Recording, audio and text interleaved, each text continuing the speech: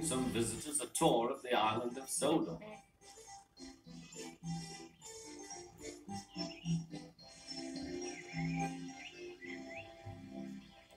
It was their last afternoon, and Edward was preparing to take them to meet Bill and Ben. He found it hard to start the heavy train. Did you see him straining? asked Henry. Positively painful, remarked James. Just pathetic, grunted Gordon. He should give up and be preserved before it's too late. Shut up, burst out Duck. You're all jealous. Edward's better than any of you. You're right, Duck, said BoCo. Edward's old, but he'll surprise us all. I've done it, we're off! I've done it, we're off! said Edward as he finally puffed out of the station.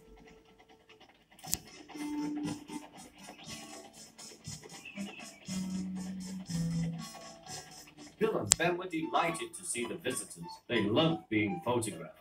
Later, they took the party to the China Clay Works in a brake van special.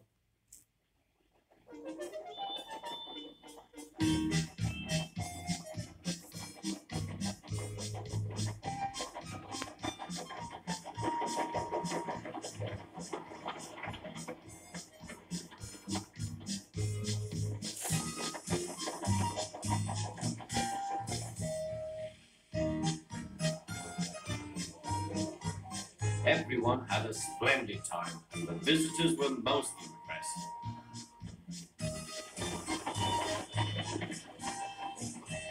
Then Edward took the visitors home.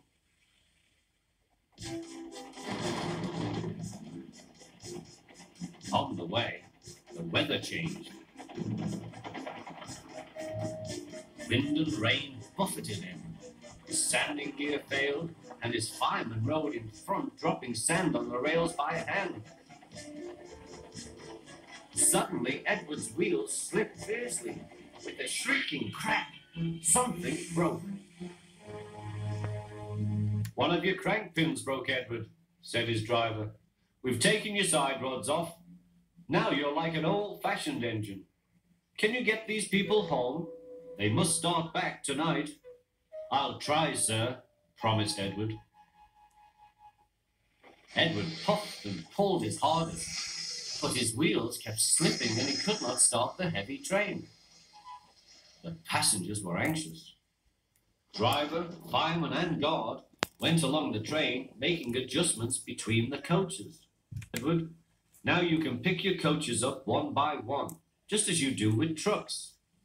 That will be much easier, said Edward. Come on, he puffed, and moved cautiously forward. The first coach moving helped to start the second, and the second helped the third.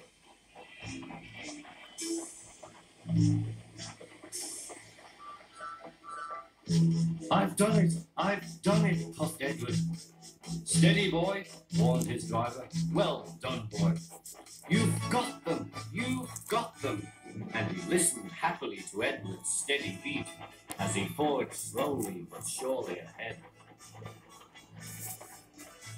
At last, battered, weary, but unbeaten, Edward steamed in. Henry was waiting for the visitors with the special train. Peep, peep! The fat controller angrily pointed to the clock, but excited passengers cheered and thanked Edward, his driver and fireman. Duck and BoCo saw to it that Edward was left in peace.